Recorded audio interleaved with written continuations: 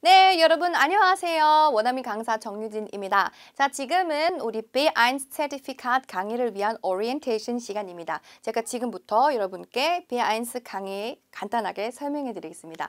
자, 이 강의는 일단은 Zertifikat B1는 무엇인가요? 자, Zertifikat B1는 유럽 공통 평가 기준에 이제 바로 세 번째 단계인 이제 그런 초중급 레벨이고요. 그 다음에 독일어를 자주적으로 활용할 수 있다는 그런 증명이기도 합니다. 자 그러면 예 대학생, 직장인 또 청소년들 다 볼 수 있는 그런 능력 시험인데요. 자 그러면 우리 이 시험에 대해서 어떻게 구성이 되었는지 한번 알아볼게요. 자 구성은 이제 우리 네 가지의 영역이 있습니다. 뭐 lesen, 그 다음에 hören, schreiben 하고 sprechen 있는데요. 자, 이 영역마다 이렇게 시험 시간이 수여되고 그 다음에 배점을 보시면 약 100점의 만점이면 60점을 이제 받으셔야 이수를 하셔야 시험에 합격할 수 있는 거예요. 자, 그러면 비아인스는 지금 최초로 원어민이 만든 그런 강의이기 때문에 예, 저와 함께 이제 하시면 또 어떤 혜택을 받을 수 있는지에 대해서 한번 같이 알아볼게요.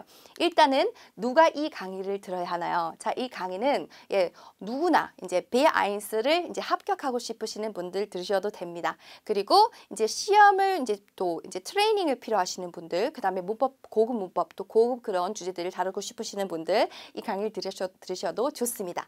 자, 그러면 우리 최신 유형 시험 대비 핵심 그런 이제 많은 그런 패턴을 담은 그런 강의이기 때문에 그리고 이제 저와 이제 원어민이 이제 이런 강, 이 강의를 또 이 도서를 만들었기 때문에 많은 또 꿀팁이랑 또 많은 또 핵심 패턴을 이제 드릴 수 있겠죠.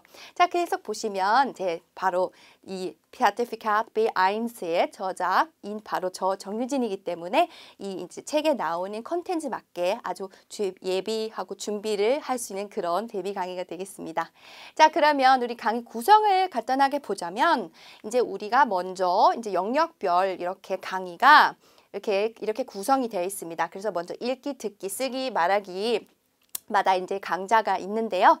그 앞서 우리가 준비 강의 있을 겁니다. 이것도 이제 준비 강의 제가 일부러 이제 구성을 이제 만든 이유가 우리가 문법을 고급 문법을 알아야 이제 나중 강의를 잘 들을 수 있기 때문에 여러분 저와 함께 고급 문법에 대해서 우리가 열심히 트레이닝을 한 다음에 바로 본격적으로 이제 강의를 시작이 되, 겠습니다 자, 그리고 우리가 수강 효과에 대해서 알아보자면 이제 일단은 저 원어민이기 때문에 이제 저와 함께 이제 한 영역별 테마마다 분석을 해가면서 그리고 거기에 대한 핵심 그런 주제들 저희가 이제 같이 공부를 하는 데 있어서 어떻게 보면 굉장히 많은 혜택을 드릴 수 있습니다. 그리고 영역 직종 트레이닝 가능합니다. 그러니까 여기에서 여러분 또 독일어인 저와 함께 이렇게 이제 공부를 하시다가 보면은 거기에 이제 나올 수 있는 그런 자주 그리고 출제되는 문제들과 그 다음에 여기에서 또 꼭 필요한 패턴들을 이제 제가 여러분께 많은 많은 정보를 드릴 거고요. 그 다음에 중요한 학, 학습 정보, 그 다음에 또 풍부한 비하인스 어휘를 저, 여러분들 위해서 준비를 했습니다.